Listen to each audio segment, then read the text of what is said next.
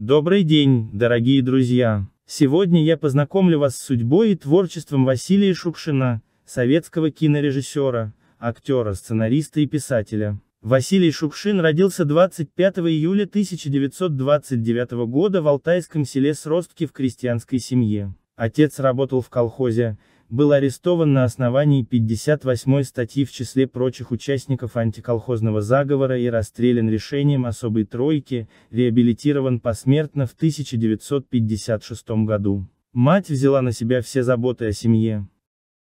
В 1943 году Шукшин окончил семилетку, в 1945-1947 годах учился в Бийском автотехникуме. В 1947 1949 годах работал слесарем-такелажником и разнорабочим на заводах Калуги и Владимира. В 1949 году Шукшин был призван служить в военно-морской флот. Сперва он, матрос на Балтийском флоте, потом, радист на Черноморском. Литературная деятельность Шукшина началась в армии, именно там он впервые попытался писать рассказы, которые читал своим сослуживцам.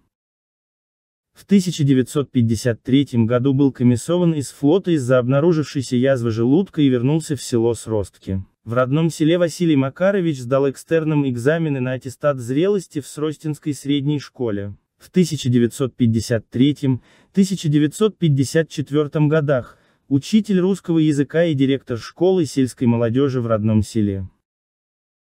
В 1960 году Василий Шукшин окончил режиссерский факультет Всесоюзного государственного института кинематографии. В 1956 году состоялся дебют Шукшина в кино, в фильме «Тихий дон». Первая работа Шукшина была эпизодической, в картине ему досталась совсем небольшая роль матроса. С этого матроса и началась кинематографическая судьба Шукшина-актера. Это послужило хорошим началом актерской карьеры, подтолкнуло к росту, и уже следующая роль Василия Шукшина в фильме «Два Федора» была главной.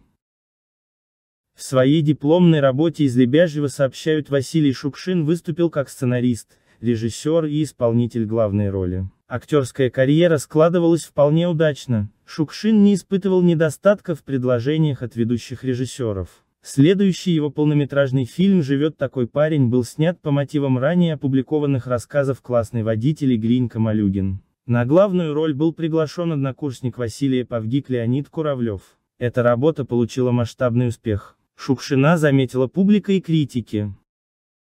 Многим замыслам режиссера так и не суждено было сбыться, не дождалась разрешения на съемку двухсерийная картина, посвященная жизни Степана Разина и крестьянскому восстанию. Вместо этого Василию Шукшину поручили снять картину «Печки-лавочки». Фильм получил признание у критиков, которые писали и говорили, что роль Ивана Расторгуева была сыграна Шукшиным филигранно. 1973-1974 годы стали очень плодотворными для Василия Шукшина. Вышел на экраны его фильм «Калина красная». Картина получила престижные награды и положительные отзывы критиков. В 1974 году Шукшин принял приглашение сниматься в новом фильме Сергея Бондарчука «Они сражались за Родину». Первая официальная супруга Шукшина его односельчанка, школьная учительница Мария Шумская. В 1963 году он вступил в брак с Викторией Сафроновой, дочерью писателя Анатолия Сафронова. В 1965 году у них родилась дочь Екатерина. С 1964 по 1967 год Шукшин состоял в браке с актрисой Лидией Чащиной. В 1964 году на съемках фильма «Какое оно море» Василий Шукшин познакомился с актрисой Лидией Федосеевой. В этом браке у него родились две дочери, Мария, актриса, заслуженная артистка Российской Федерации и Ольга, актриса. Василий Макарович Шукшин ушел из жизни ранним утром 2 октября 1974 года в каюте теплохода «Дунай» в станице Клёцкой Волгоградской области на съемках фильма «Они сражались за Родину». Параллельно Василий Шукшин успешно сочетает кинематографическую работу с литературной. Его книга «Сельские жители» была выпущена в 1963 году издательством «Молодая гвардия». Всего в творческом наследии Шукшина насчитывается два полноценных романа, при этом основная проблематика творчества полностью раскрыта в многочисленных рассказах и повестях, послуживших основой для последующих кинематографических замыслов.